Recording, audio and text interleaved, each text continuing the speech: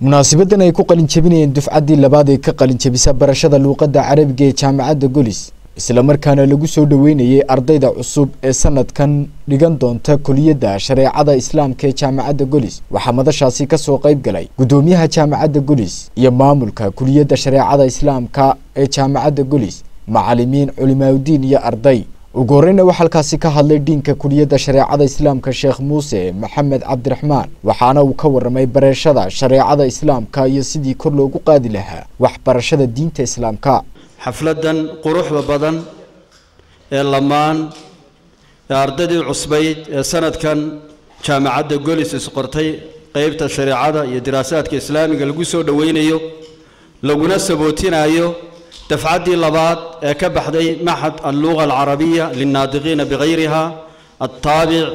likuliyati shariica wadiraasaat alislaamiya aad baanu runtii waxaway markaas idiin soo dhoweynayna waayo waxaad nagu soo waxaway markaas qaybtan aad ku soo doorateen waa malo wanaagsan ood waxaway markaas ka filanaysaan inaad kala kulantaan kuliyatu shariica wadiraasaat alislaamiya ilaahayna subxaana wa tacaala waxaan waxaway markaas weydiisanaynaa in malihiina fiican iyo doorasho wanaagga aad waxay markaas samayseen in ilaahay subxaana wa tacaala waxay markaasuu nagu asturo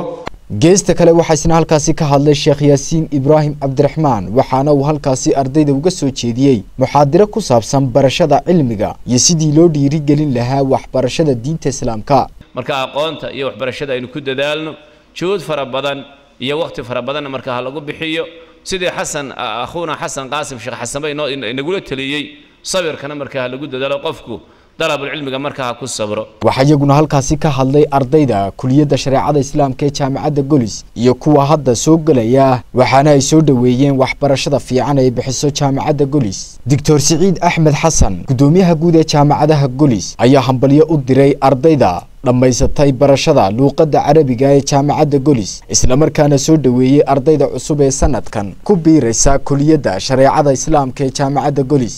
Waxaan anigu aaminsanahay waddankeenna hadday dadka shareecada sida wanaagsan u yaqaanaa ku bartaan